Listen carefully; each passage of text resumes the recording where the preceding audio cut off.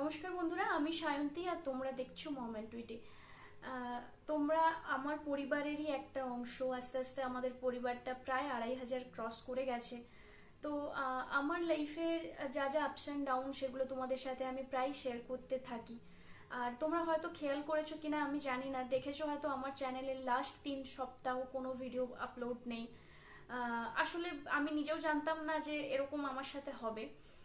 আমি একটা খুব ছোট্ট ছুটি নিয়েছিলাম জাস্ট দু তিন দিনের একটা ছুটি নিয়েছিলাম, তোমাদেরকে সেটা বলেও ছিলাম হয়তো, আমার কমিউনিটি পোস্টও করেছিলাম, যে দু তিন দিনের একটা ছুটি নিচ্ছি।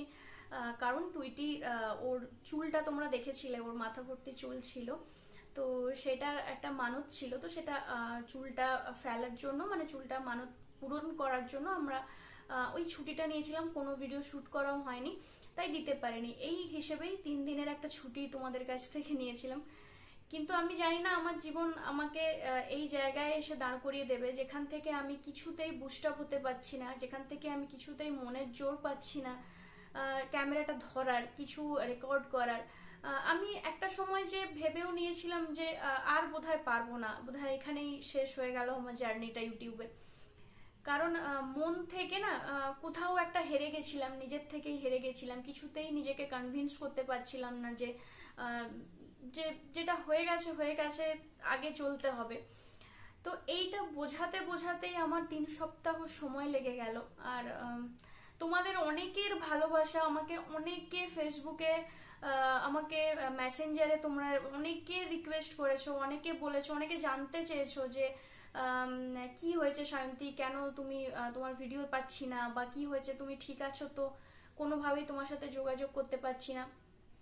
আমি হয়তো তোমাদের মেসেজগুলো দেখেছি বাট রিপ্লাই দিতে পারিনি। বিশ্বাস করো রিপ্লাই দেওয়ার মতো আমার মানসিকতা ছিল না বা কি বলব আমি জানি না।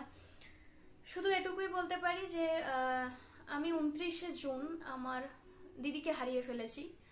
তো আমি আর সেই মনের জোরটা পাইনি যে আমি ক্যামেরা ধরবো, নিজেকে স্বাভাবিক করতে আমার অনেকটা সময় লেগে গেছে। এখনও স্বাভাবিক পুরোপুরি হতে পেরেছি তা না। তার সাথে একটা বাচ্চাকে সামলানো ফ্যামিলি আছে অফিস আছে, এক, সবকটা জিনিসকে ম্যানেজ করতে একটু সময় লেগে গেছে। তাই ক্যামেরা ধরতে পারিনি।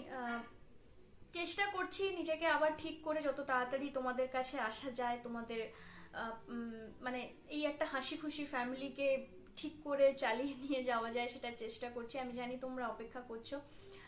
তো যদি ভিডিওটা দেখে থাকো, তাহলে প্লিজ পাশে থেকো। আর আশা করছি খুব শিগগির তোমাদের কাছে ফিরতে পারব, তোমাদের ভালোবাসায় আরও এগিয়ে যেতে পারব। তো, আর বেশি কথা বলব না, এখানেই শেষ করি, কারণ চেষ্টা করছি একটা ভিডিও শুট করার তোমাদের জন্য।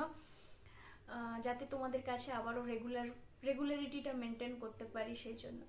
তো, ভালো থেকো, সুস্থ থেকো, আর নিজের পরিবারকে খুব হাসি খুশি রেখো, নিজে খুব ভালো থেকো, আর অ্যাটলিস্ট নিজের মধ্যে কষ্টগুলো চেষ্টা করো সবার সাথে শেয়ার করার, নিজের মধ্যে রেখো না।